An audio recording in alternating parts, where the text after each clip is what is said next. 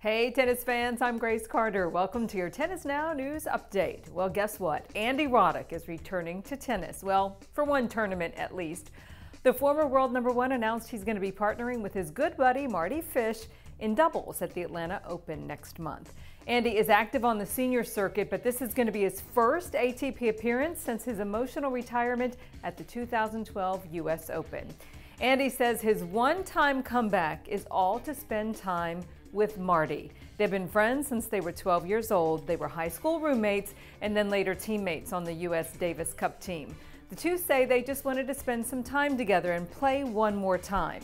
Andy says Atlanta was the obvious choice for them because they both had success there and they love that tournament. And he says he really hopes that he doesn't embarrass himself out there. The former U.S. Open champion had hoped to play the U.S. Open doubles with Fish, but Andy's going to be a little busy around that time because his wife, Brooklyn Decker, is expecting their first child.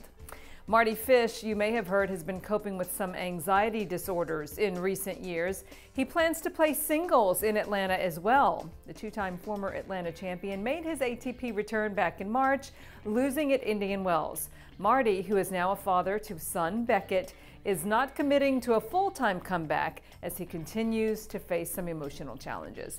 He says his ultimate goal is to play the U.S. Open again.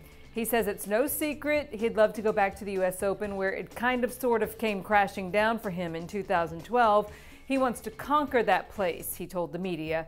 By conquer, though, he says he just wants to get back out there on the court. He says he's got a lot of demons, but he says it all starts in Atlanta for him. So we wish him all the best.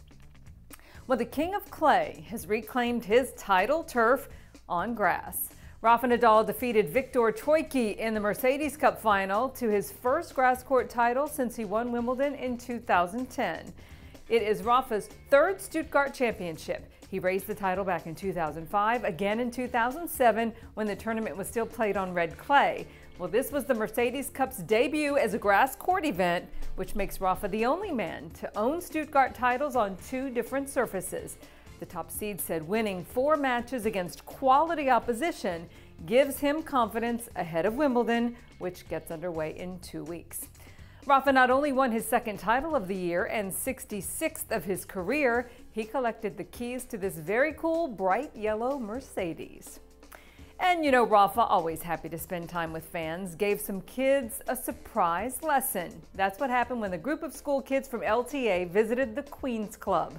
Rafa helped the LTA celebrate its 20,000th milestone for its tennis schools program. Good for him. And welcome back Milos Raonic and his sleeve. The ballistic serving Canadian made a winning return this week at Queen's Club, beating James Ward. It was Milos' first match after undergoing foot surgery last month, which you may have noticed sidelined him from the French Open. The 2014 Wimbledon semifinalist also took some time to hit with Andy Murray. Well, if you've ever been to London, you know traffic there can get a little crazy. Well, sometimes experienced travelers bring their own wheels. How about Nick Kyrgios? He pulled out the portable scooter to take in some of the local sights, including a return to Wimbledon. Nick practiced a bit with John Isner in London.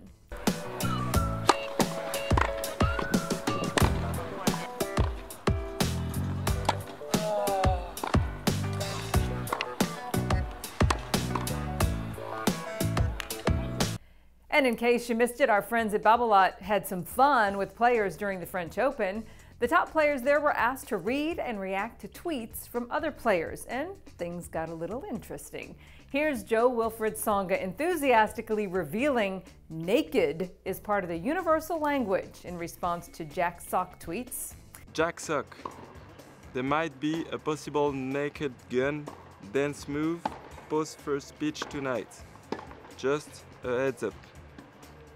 I didn't understand one word of this sentence. But I just understand naked. So let's go. Let's go for it. Learning that Fabio Fognini confesses to being a bad boy cracks up Genie Bouchard. Fabio Fognini. I'm a bad boy. what you want to do, what do you want to do? I am so curious as to what happened before that tweet. Heather Watson reveals Aggie Radwanska's concept of Fat Thursday is a daily holiday in her world. Agnieszka Radwanska tweeted, in Poland, we call it Fat Thursday, and tradition is to eat donuts. Mmm. Well, I wish I had a Fat Thursday, but I kind of have a fat every day. and Sam Querrey bestows true bro status on Thanasi Kokkinakis. Thanasi Kokkinakis, how sweet is the doping room straight after a match? Chillin', hashtag chillin' with the testers, hashtag bros. He is a bro. He wore a beanie to the player party last night in Paris. So what does the Fed do when he returns to Halle, Germany? Well, he visits Roger Federer Alley, of course. This week, the seven-time tournament champion returns to Halle for the 13th time in the last 16 years. Federer is seated first in a field that includes world number five, Kei Nishikori, sixth ranked Tomas Berdych, Gael Monfils, and also big serving Ivo Karlovic. Ivo also visited Federer Alley, which left him searching for his own street. All right, let's be honest. Doubles doesn't always get the love and attention that singles generates. Well, if you're not a doubles fan, maybe you will be after seeing this crazy cool point from the Stuttgart doubles final, featuring mad scrambles, stab volleys, a tweener lob, and a topspin lob dropped on a dime inside the line to close. And it all happened on championship point. Here's Rohan Bopanna and Florin Mergea winning Stuttgart in style with one of the wildest doubles match points we have seen. That's the news for now. Thanks for tuning in, everybody. I'm Grace Carter. We'll see you next time here on Tennis Now.